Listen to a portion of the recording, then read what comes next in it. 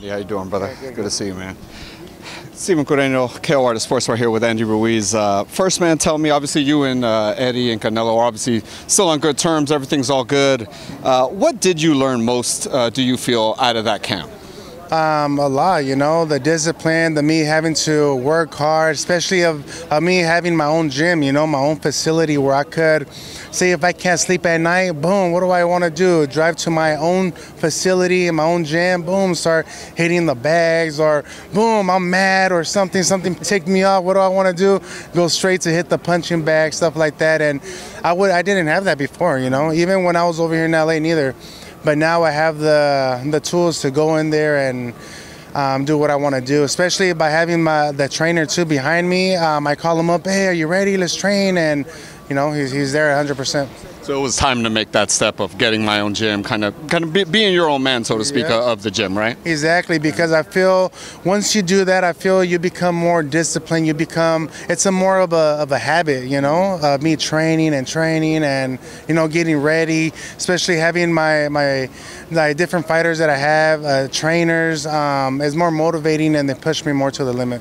Luis Ortiz is a southpaw man. We were talking earlier. His first yeah. first southpaw is that. I mean, this is a, a, a, kind of a crazy time to be taking that, that much of a risk, man. Credit, credit to you for, for taking on such a such a big fight in, in the, the part of your career you're at. Yeah, that's exactly what I wanted to do. I didn't want to cherry pick um, any other fighter because I thought Luis Ortiz is a is a good example. You know, he's a he's one of the top guys out there. Uh, but I don't know for some reason in my heart. Uh, I feel like I'm, I'm gonna I'm gonna pull this out, man. I know he's gonna be hard. I know he might move around the lefty, but I think my my ability is gonna I'm gonna be able to win obviously fans are, are going to look at this fight, look at you, and and obviously your fans are going to you know hope for a knockout because that kind of is the measuring stick with Luis Ortiz, right? His only losses are to, to Deontay Wilder, and I mean it seems like with a with a win period, it looks like Wilder might might be next.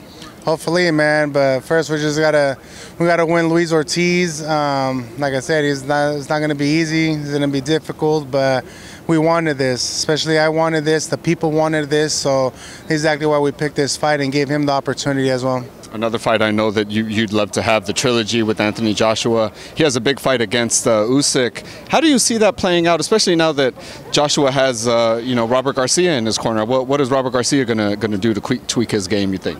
I think that was a good move as well. You know, I think sometimes we gotta we gotta um, learn from different trainers. You know, because every trainer that we got, we we learn. You know, it's like a little muscle memory that we learn and gets to our head, but I mean, I think he needed that that Mexican trainer to to to make him be aggressive. You know, I think he needed that aggressiveness against Usyk. He's a bigger guy, a stronger guy, but you know, Usyk is a man of God and he's a Christian, and you know, God willing, he's gonna take the victory as well. But if he doesn't, and I win this, I win this fight, and then I don't fight um, Deontay Wilder, I'd love to do the the trilogy. And an aggressive Joshua against uh, Andrew Ruiz would be great, brother. I'd love That'd to see great, it. because there's a lot of fireworks right there. Yes, sir. Hey, brother, it's been great seeing your, your progression throughout these years, man. Appreciate you, brother. Thank you.